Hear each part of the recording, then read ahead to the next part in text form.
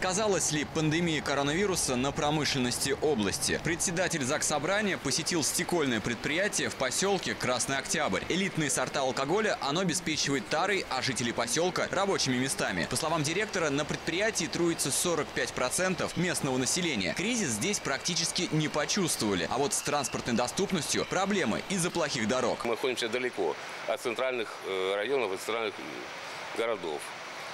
Э, Население работает, начиная от Гусь-Хрустального, заканчивая Великодворьем. Возим, да, э, Курлова очень много, 52 человека работает только с Курлова, хотя у них свои заводы, но работают у нас.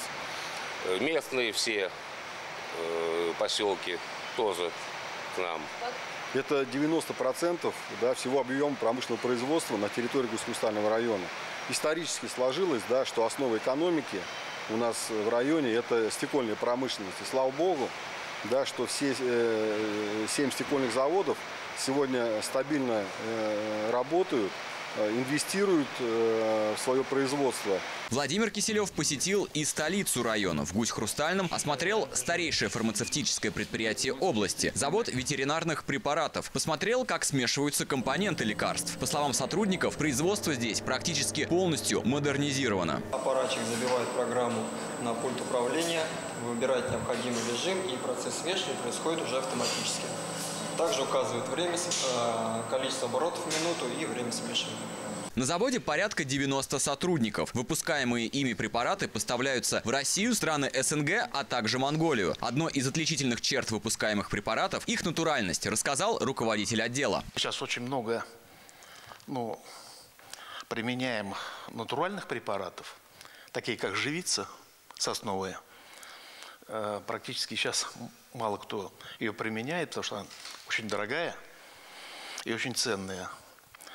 Здесь также и воск есть натуральный. При этом пандемия коронавируса все же повлияла на работу предприятия. Правда, в лучшую сторону, потому что речь не о спаде, а об увеличении объема производства. В связи с пандемией границы были перекрыты, а это нарушило поставку аналогичных препаратов из других стран в Россию. Здесь наша продукция немножечко становится более востребованной из-за того, что и по цене мы начинаем быть дешевле, и объемы другие страны снижают. Но, еще раз повторюсь, это не дает э, огромного всплеска, это все в рамках 3-5% э, от плановых объемов. Владимир Киселев поблагодарил местных чиновников за поддержку производств, но попенял на плохое состояние дорог. Этот вопрос он намерен обсудить с губернатором области. В Гусь-Хрустальном районе, ну, прошу прощения за выражение, убитые дороги во многих случаях. И нужно изыскивать денежные средства, в том числе, я думаю, не бояться брать кредиты. Весь мир живет за счет кредитных средств. И если мы будем вот закапывать голову в песок и говорить, что у нас а, денег нет, что, ну и в то же время говорить, что у нас долг практически никакой в области, развития не будет.